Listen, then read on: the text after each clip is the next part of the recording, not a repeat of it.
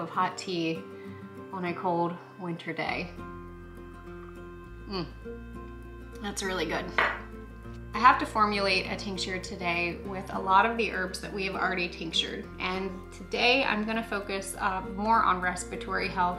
I'm watching kind of what's happening, what's going around, all the bugs that people are getting. And I just want to have something ready and already formulated up in the event of I need it.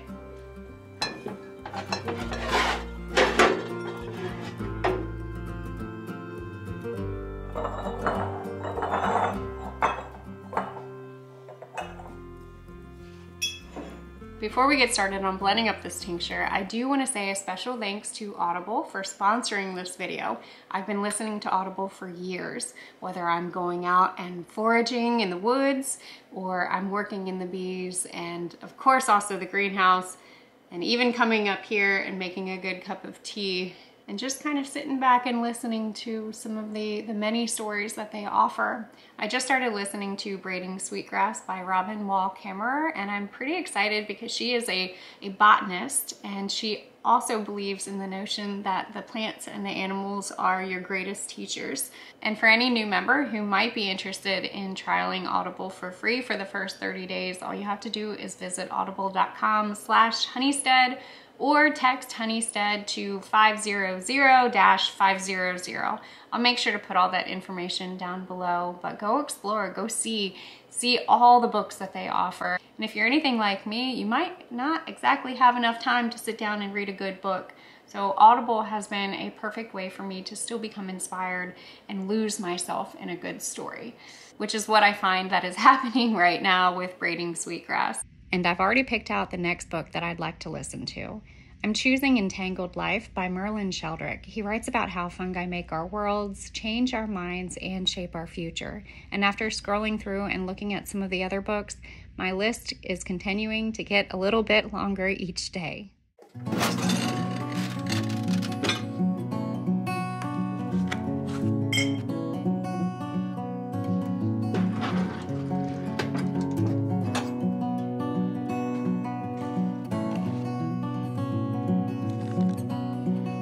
Formulate this tincture into a two ounce dropper bottle. Now a two ounce bottle is equivalent to 60 milliliters. That's the, the overall number that I'm trying to go for. I pulled out seven different tinctures that I would like to, to try to formulate up a protocol. I could go 10 all around except for two and do five milliliters and five milliliters. To make 10, I look at tinctures and their actions kind of the same way when I'm formulating up a tea blend. I'm picking the main herbs that I would like to focus on for this protocol. Now I could do a larger bottle, but I think a two ounce bottle is just gonna be fine because this is gonna fit in your pocket, it's gonna fit in your purse. It's a good way to have it for on the go. Now, I am going to start with propolis. Propolis is probably one of my favorite things that I have here in our apothecary. It comes from the bees. The bees will go out and they'll forage and they'll gather all the resins um, and bring it back and they use the propolis to help coat their entire colony. Um, they line their colony and this is what helps keep them safe.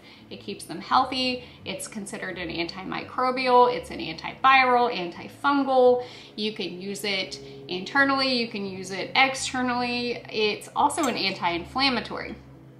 So because of the properties in propolis, I want to protect and support our, our oral cavity, our opening. It's just another barrier um, to help support and protect our bodies. Propolis is also considered vulnerary, which is a fancy term meaning that it is going to help promote uh, tissue healing. If you've ever taken propolis orally or you've added it into a tea, you will feel a, a coating, a film. It's definitely like a liquid band-aid. So we're gonna go ahead and add 10 milliliters of propolis. Don't forget to shake your bottles before you pour.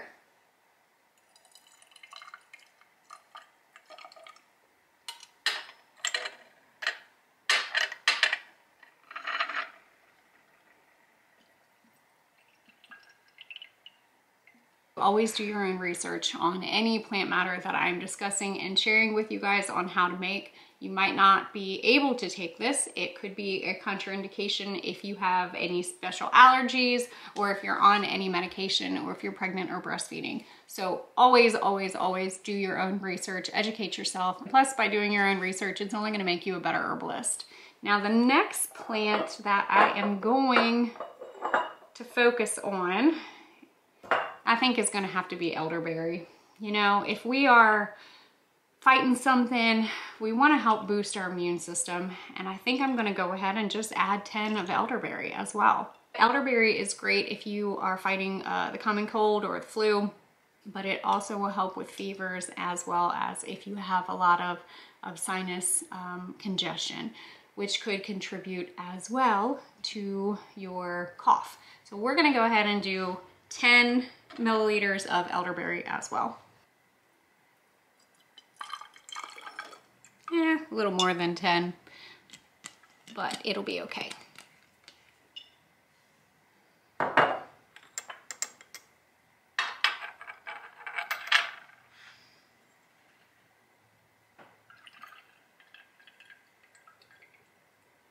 The next tincture that we're gonna add is elecampane. Now, elecampane is also known for, for helping bring up whatever that might have settled in your lungs, as well as it also has properties in it that will help fight um, any type of bacteria. So I'm gonna add it in here and I'll go ahead and just plan on adding 10 milliliters as well. Yep, 10, we're gonna do 10. Why not?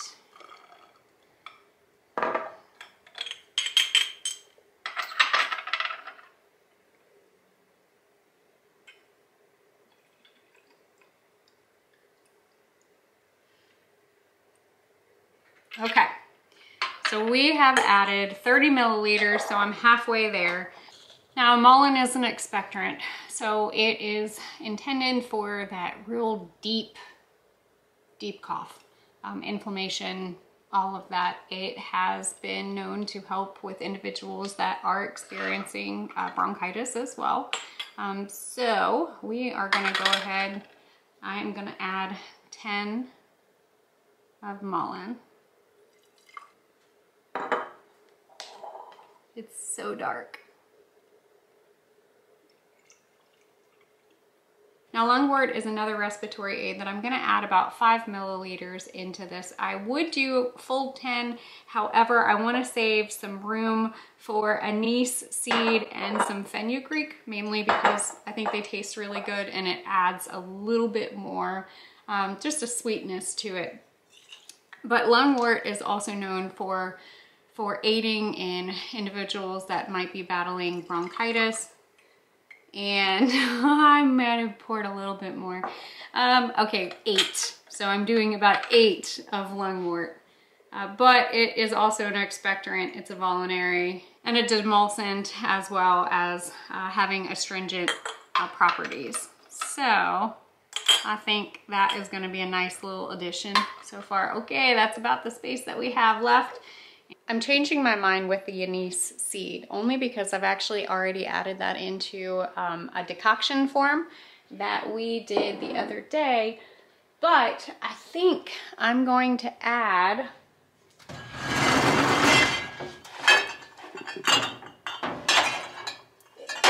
Oh no.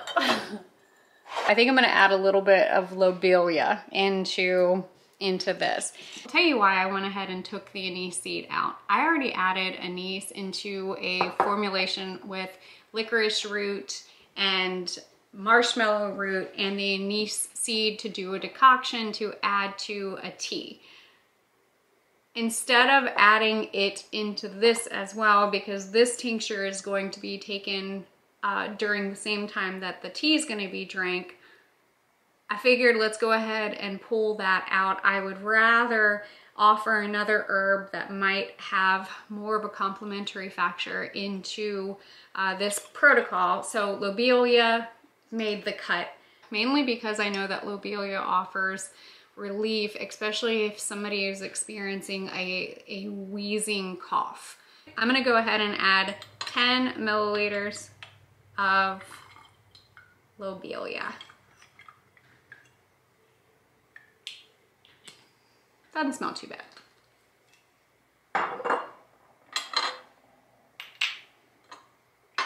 I'm kind of keeping my ratios very simple. I, I, know that I can go crazy and do 20 and 5 and all of that, but I just think it's just easier to do 10 for the main ones that I know I want to focus on, and then 5 for the ones that I'm like, yeah, I'll add that in there. It's going to offer relief, and that's kind of what we're going after. But we also want to protect. We also want to, to uh, mend the tissues as well as bring all the funk up, help with fever, so the last one that we're gonna add is fenugreek. Now I really like, I love the smell of fenugreek. It's sweet, it smells like syrup, um, but it has medicinal properties as well. And I figured this was gonna actually be perfect to add to this because fenugreek actually helps reduce the mucus.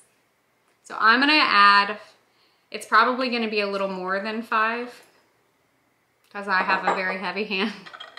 Um, but I think I'm gonna pretty much make this, yeah, it's, we're topped off. And that is what I, that is what I wanted.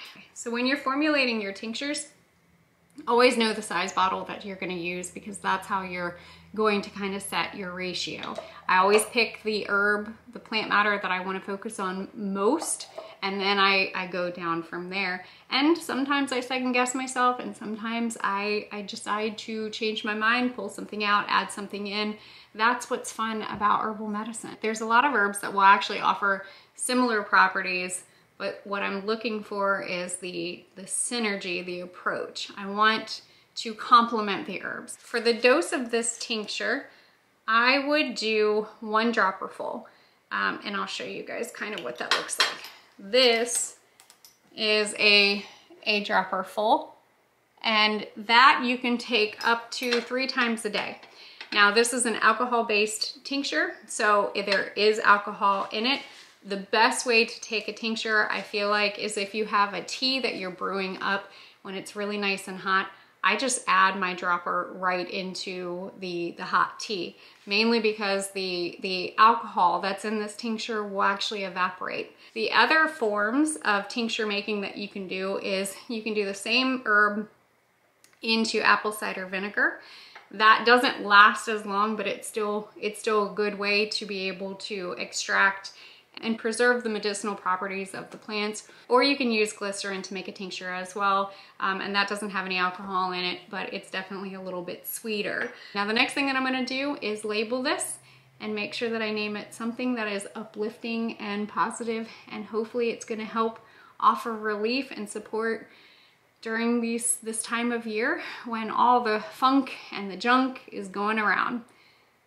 That might be, that might be the name of this no funk and no junk. That's kind of uplifting, I think. Anyways, thank you guys for watching, and as always, don't be afraid to get your hands dirty and learn something old. Bye, guys.